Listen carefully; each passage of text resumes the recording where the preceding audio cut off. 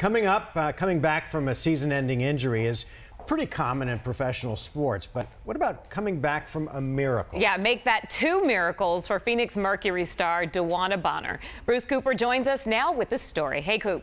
Yeah, hey, how you doing, Creep? You know, yeah, those two miracles we're talking about are twin daughters. DeWanna Bonner missing all of last season, giving birth to the twins on July 17th, but she's back with the Mercury now, just as focused, competitive, and determined as ever.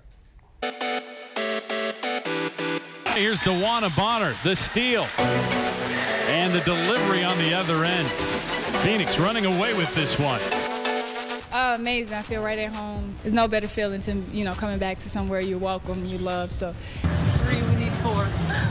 DB coming back is a big part of what we've done and you know why we've been able to win championships here. So, um, you know, DB's been great. She looks amazing. It's fantastic. She's just so versatile, and she's done so much for this organisation in the past. And we wanted to come back in and just continue to do what she has been doing all those other years.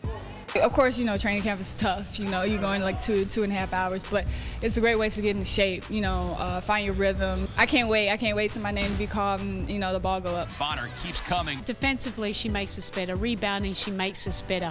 She looks strong. She looks fast. Nothing's changed. You wouldn't have thought that she's had a babies, two babies. Yes, it was tough yesterday. I almost had a breakdown, but uh, I wouldn't have it any other way. They're awesome. They keep me going. She's re-energized. Um, she looks great physically, mentally. She's ready to play. Um, the twins are in town, so uh, you know it feels good. Yeah, you know, DeWanna is married to her former teammate with the Mercury, Candice Dupree. Candice is now a member of the Indiana Fever. Hey, it'll be a big adjustment for these WNBA moms, Mark and Krive, tr trying to balance travel, oh. games, and distance. Yeah. Wow, I'll, I'll, tell you. Right, Coop. Can you imagine having a baby and then going back to play in the WNBA? How about twins? Exactly. Right. That's crazy. All right, thanks so much, Coop.